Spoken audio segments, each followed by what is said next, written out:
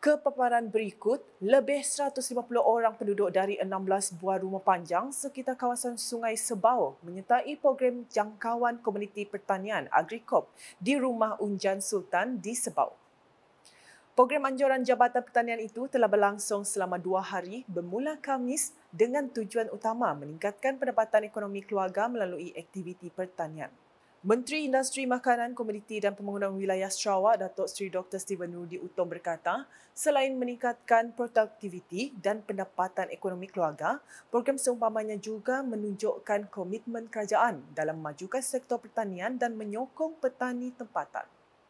Jadi aku harap kita di uh, Sungai Sebawah tu jalan dah bisik, uh, air pun dah bisik, ngasuh kita yang ngatur pengawak kita itu ngau lebih lenak lagi ambil kepenatan misi kita itu mana lagi ataupun more konsisten.